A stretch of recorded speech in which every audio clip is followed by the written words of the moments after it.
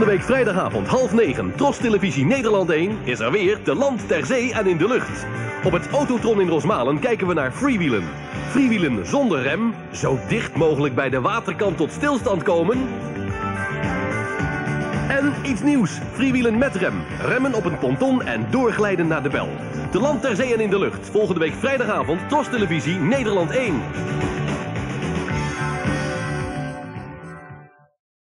Freewheelen dus, aanstaande vrijdag bij de Tros. Vanavond het laatste deel van onze miniserie Als er een morgen is.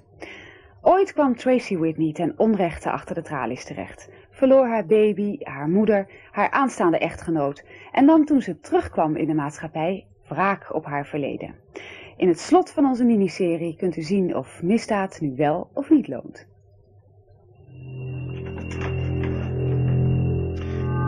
Cooper, IIPA, insurance investigation. I'm innocent. They didn't take it. They set me up.